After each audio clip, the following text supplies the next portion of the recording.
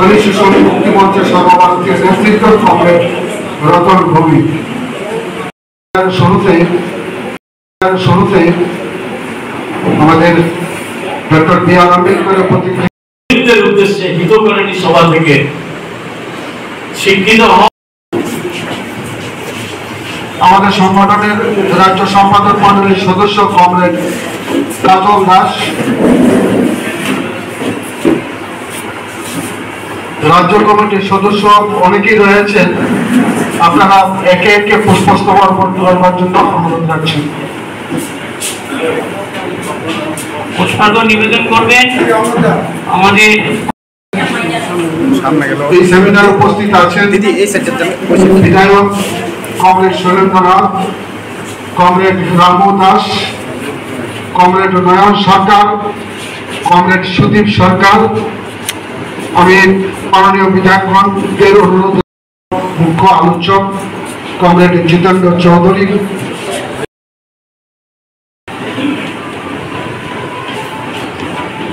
আপনারা সবাই জানেন যে আজকের দিনে ডক্টর বি আর আম্বেদকরের জন্মদিন পালন শুধু ফুল মামা দিয়ে শ্রদ্ধা জানানো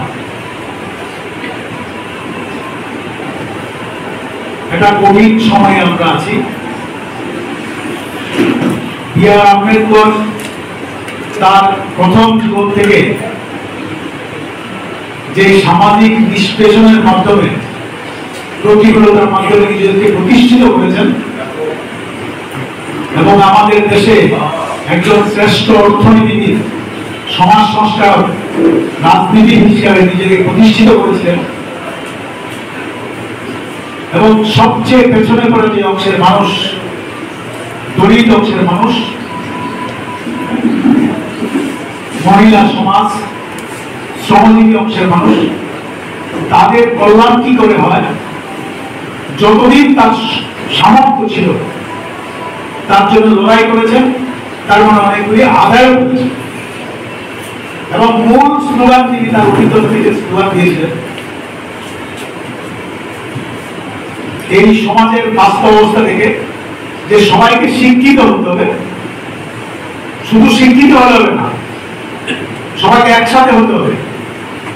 এবং একসাথে হয়ে প্রচলিত যে সমাজ ব্যবস্থা, যে রাষ্ট্র, তার বিরুদ্ধে লড়াই করতে হবে তাহলে তিনি যে ব্যবস্থার কথা বলে যে মানুষের কল্যাণ, সেই কল্যাণ সম্ভব হবে। আজীবন তিনি এই কাজ করেছেন। এবং আমরা এই সময়ের মধ্যে, বিশেষ করে বলতে পারি, সেই সময় যে ব্যবস্থা ছিল, এই ব্যবস্থা খুব বেশি পরিবর্তন হয়েছে না। লড়াই করেছেন, ঠিক আছে। কিছু আদায়ও করেছেন। আমরা অনেকে বামপন্থী আন্দোলনে বিশ্বাস করি, মার্ক্সের কথা বলি। মার্ক্স স্বাধীনতার আগে ব্রিটিশ শাসনে যে কথা আমাদের দেশের সঙ্গে বলেছিলেন যে ভারতবর্ষের উন্নয়নকে স্তব্ধ করে দিয়েছে জাত বর্গ ব্যবস্থা। এটাই উন্নয়নের পক্ষে প্রথম প্রধান আম্বেদকর বলেছিলেন যে সমাজের উন্নয়ন করতে হলে আমাদের যে শ্রেণি সংগ্রামীতে যাই আমরা বলি না বর্ণ ব্যবস্থা উচ্ছেদ ছাড়া সম্ভব আজকের দিনে দাঁড়িয়ে আমি বলব, এটা ঠিক উনিশশো পঞ্চাশ সালে যে সংবিধান আমাদের দেশে চালু হয়েছিল, আম্বেদকরের নেতৃত্বে তৈরি হয়েছিল, এবং তিনি এটা চালুর সময়তেও বলেছিলেন যে এই সংবিধান চালুবারই সমস্যার সমাধান না সব শুধুমাত্র রাজনৈতিক সাম্যতা, আমরা যদিও আজকে রাজনৈতিক সাম্যতা নাই, কিন্তু অর্থনৈতিক সামাজিক সাম্যতা আমাদের দেশে আমরা দিতে পারিনি এই সংবিধান। এটা লড়াই করে আগে এটা যদি না করতে পারি, তাহলে ভারতবর্ষের ভবিষ্যৎ ভালো হবে না। আজকের দিনে এসে আমি বলব যে এই যে কথা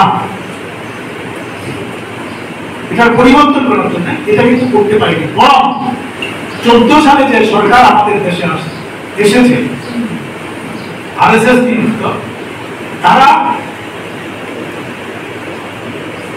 সংবিধানে যে অধিকারগুলি আমাদের দিয়েছে বা যে অধিকারগুলি আমাদের লড়াই আমাদের মধ্যে আমরা অর্জন করেছিলাম, সেই অধিকারগুলি কেড়ে নেওয়ার জন্য এমনকি যেই সংবিধানে আমাদের কিছু অধিকার দিয়েছেন বা আমাদের দেশকে জাত, বর্ণ, ভাষা এগুলি বিবিধ থাকলেও এক রাখতে সাহায্য করেছিলেন, আজকে সেটাকেও ধ্বংস করার চেষ্টা করছেন।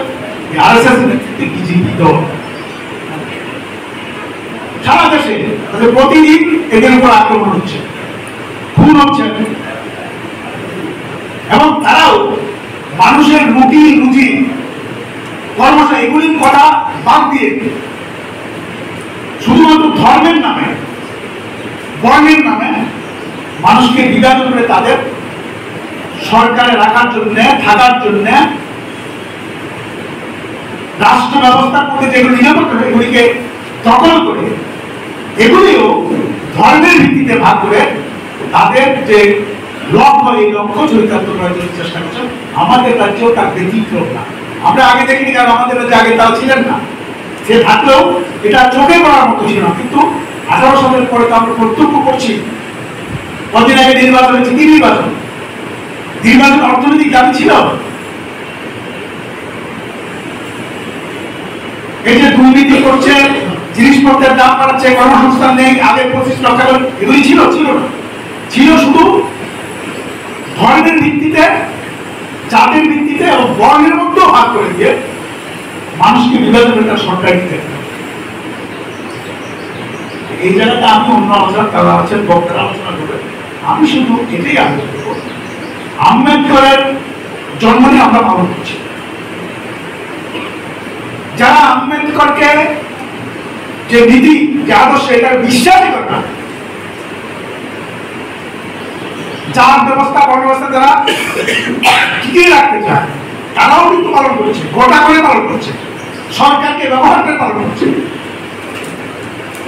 তাদের মধ্যে কিন্তু আন্তরিকতা নাই।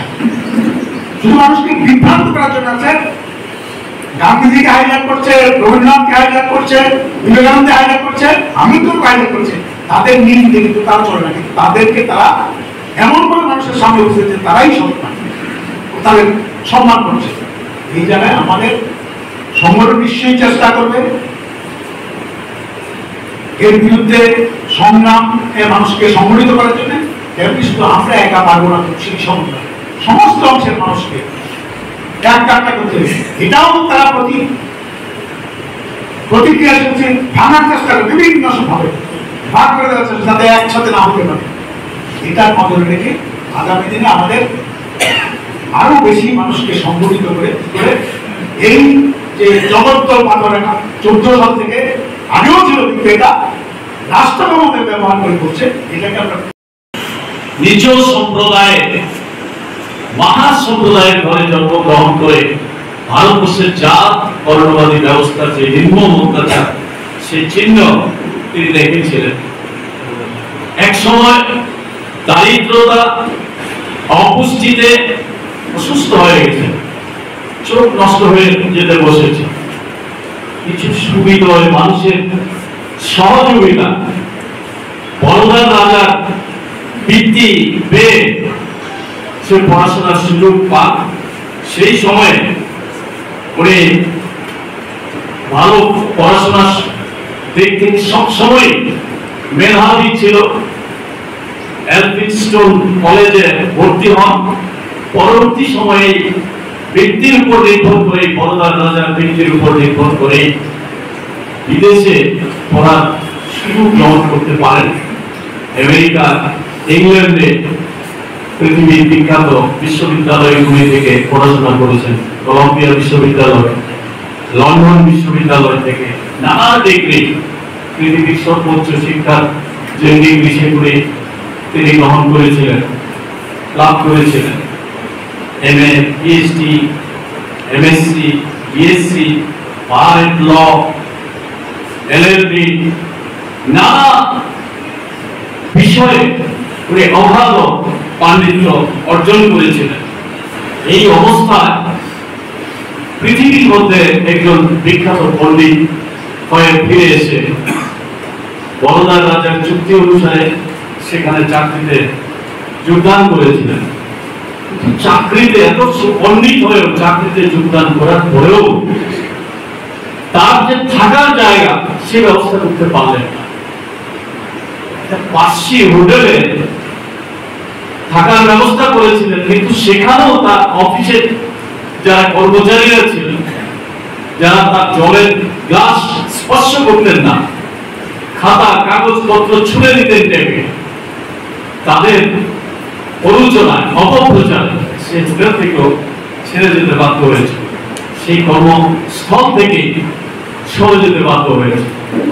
পরবর্তী সময় মুম্বাইতে গিয়ে কলেজে শিক্ষকতার কাজ গ্রহণ করেন সুইডেন হাম কলেজ থেকে।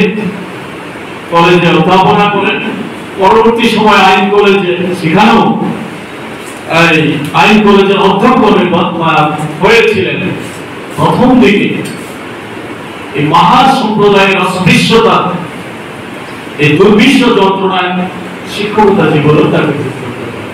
পরবর্তী সময়ে তার মেধা রেখে ছাত্ররা তার ক্লাসে। এইভাবে তার জীবন দিয়ে উপলব্ধি করেছিলেন যা বর্ণবাদী ব্যবস্থার যে চরম পরিণতি ভারতবর্ষে, এটা তিনি দেখেছেন। তার বিরুদ্ধে লড়াই করার জন্য এখানে কংগ্রেস সুধন দাস সংগঠনের সাধারণ সম্পাদক। ডক্টর বি আর আম্বেদকারের জীবনের কিছু দিক কিছু দিক তুলে ধরে একজন মানুষ হিসাবেও যে কি ধরনের একটা দৃঢ় চেতা মানসিকতার যে গঠনে তৈরি খুব সংক্ষেপে তা তুলে ধরেছেন। এর থেকে বেশি বর্ণনা প্রয়োজন সেখানে নেই। এবং সেই জায়গা থেকে উঠে দাঁড়িয়ে কীভাবে নিজেকে তৈরি করেছেন? আমাদের দেশের স্বাধীনতা আন্দোলনে অবদান রেখেছেন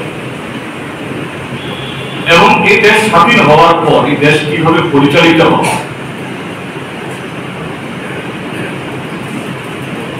তার ব্যবস্থা কি হবে? তার নেতৃত্বে কনস্টিটিউশন আজকে আমাদের এই সুবিধার উপকার আমি সেই জায়গায় একটা ছোট্ট দিক বলব যে আম্বেদকারের জীবনে এই যে সামাজিক ন্যায়, যা কালমাসের চোখে, লেনিনের চোখে, এই ভারত সম্পর্কে যা জেনেছেন, এই ভারতকে উঠে দাঁড়াতে হলে করে তার সম্ভাবনাকে সর্বোচ্চ স্তরে, সর্বোচ্চ শিখরে যেতে হলে করে কোন দুর্বলতার দিক তার অবসান ঘটাতে হবে? যা পাক বর্ণ ব্যবস্থা যা আজও বিদ্যমান। ডক্টর বি আর আম্বেদকার তার সারা জীবন লড়াই তার রাজনৈতিক একজন ব্যক্তিত্ব হিসাব বা একজন সমাজ সংস্কারক হিসাব বা একজন বিখ্যাত আইনজীবী হিসাব বা একজন লেখক হিসাবে সেদিকে জোর দিয়েছেন এবং এটা নিজের জীবনের উপলব্ধি। শুনেছেন? হ্যাঁ? ডক্টর বি আর আম্বেদকর একটা দলিত সমাজ থেকে এসেছেন মহার থেকে। কিন্তু তাই বলে একেবারে গরিব অনপদ সেই সময়ে তো সে অবস্থায় ছিলেন না। তার পিতা ব্রিটিশ সেনাবাহিনীর একজন সুবেদার ছিলেন। সেই সময়ের একটা তার অনেক ক্ষমতা। কিন্তু সেই সুবেদারের সবচেয়ে ঘনিষ্ঠ সন্তান আম্বেদকর। তখনও আম্বেদকার নাম গ্রহণ করেননি, আম্বেদকার মানে একটা পরবর্তী সময়টা হয়েছে। তাকে স্কুলে বসার জন্য বাড়ি থেকে তাকে বস্তা নিয়ে আসতে হবে। শুনেছেন, জল